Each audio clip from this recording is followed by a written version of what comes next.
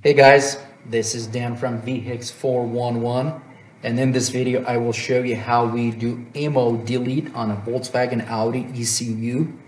It's going to be a quick video. Uh, we're going to be using CarProg. Any EEPROM programmer will work and you will need Abrites software or any software that can calculate the immo off file for you.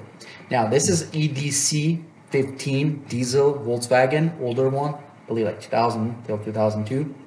But older uh, Volkswagens and Audis, they're easier to do. So it's a quick video and we'll dive right into it. So located my EEPROM over here. It is a 24C04 EEPROM. I already cleaned my contacts, got my EEPROM adapter connected. I will go to my CarProg 24C04. That's the EEPROM we're going to be reading. I will click read and it's going to read the file.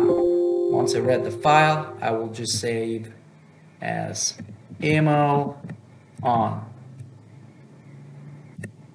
Immo on. Boom. Saved. I will go to my Abrites software right here. Come on, Abrites. So EDC15 immo bypass 24C04 memory. And this is the correct software. We'll just load our immo on file that we just read a minute ago. Open. And if you can see, it says immo is now on. We'll click on it.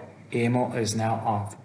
We will save this as immo off file and I will get out of my Abrites software. I will load it up in my CarProg or any EEPROM program you got. We'll click immo off. Come on, immo off. All right, immo off. And then I will click write. So all we do is read the original file with the software, modify the immo off and write it in. And if you can see it is right here. Immo off is turns into 60 and immo on is actually 33 here, 33 here. Now, it doesn't always mean that you're gonna have a 33 and then a 60. The number's gonna be different. That's why you do need a software to do that. Uh, otherwise, if it's a newer Volkswagen, those are very hard to do because it's, let me pull up the picture over here. Processor is a big processor to read. You need a special programmer just to read.